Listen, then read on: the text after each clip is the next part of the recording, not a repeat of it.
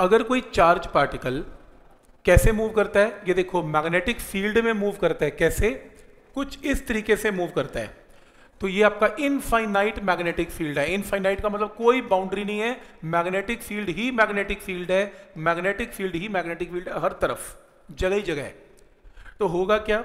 जब कोई charge particle इसके अंदर मूव करेगा with a velocity of V vector तो ये चार्ज पार्टिकल क्यों है। अभी आज हमने सीखा था। क्या सीखा था?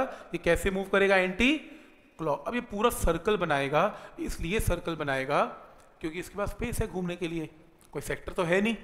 कोई ये तो है नहीं कि स्ट्रिप के अंदर मैग्नेटिक फ़ील्ड है, बाकी जगह है नहीं। हर जगह फ़ील्ड ही फ़ील्ड है। तो कैसे घूमेगा इन सर्कल तो समझ में आ रहा है कि कंप्लीट सर्कल कब बनेगा और इनकम्प्लीट कब बनेगा? सेमी सर्कल कब बनेगा? ठीक है, यहाँ तक? सबसे इंपॉर्टेंट रिज़ल्ट सपोज़ ये बनाओ साथ साथ प्लीज़ ये मैग्नेटिक फ़ील्ड है. मैग्नेटिक फ़ील्ड ऐसे है. राइट right की तरफ़ तो मैग्नेटिक फ़ील्ड है. लेफ़्ट की तरफ़ मैग्नेटिक फ़ील्ड नहीं है. ठीक? यहाँ कोई मैग्नेटिक फ़ील्ड नहीं या मैग्नेटिक और इनफाइनाइट है यहाँ पे, यहाँ है ही नहीं. तो बनाओ डायग्राम ठीक है? तो इस डायग्राम में सपोज़ करो एक चार्ज पार्टिकल कैसे एंटर करता है?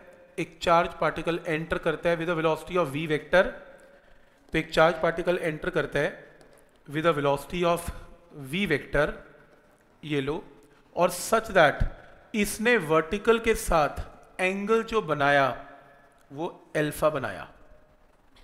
क्योंकि नॉर्मली मैं हमेशा स्ट्रेट एंटर करवा रहा हूँ मैग्नेटिक फ़ील्ड में चार्ज पार्टिकल को। इस बार स्ट्रेट नहीं है, इस बार एंगल पे एंट्री हो रही है।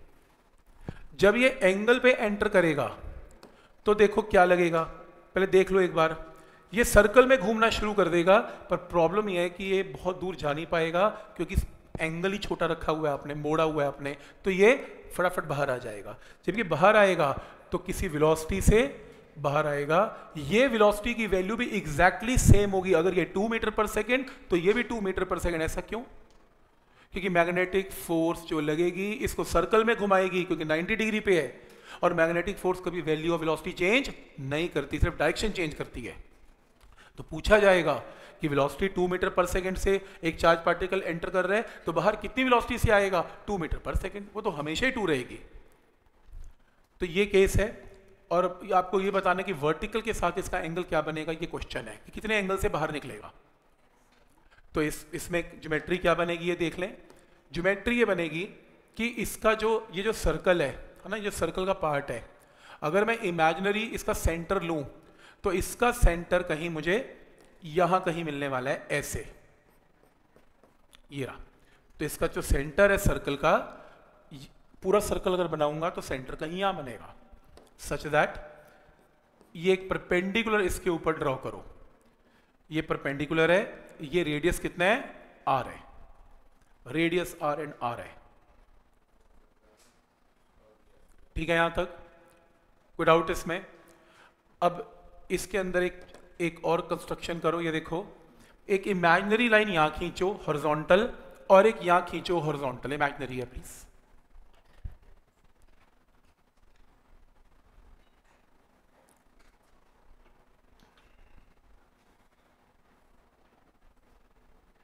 यहाँ तक क्लियर है?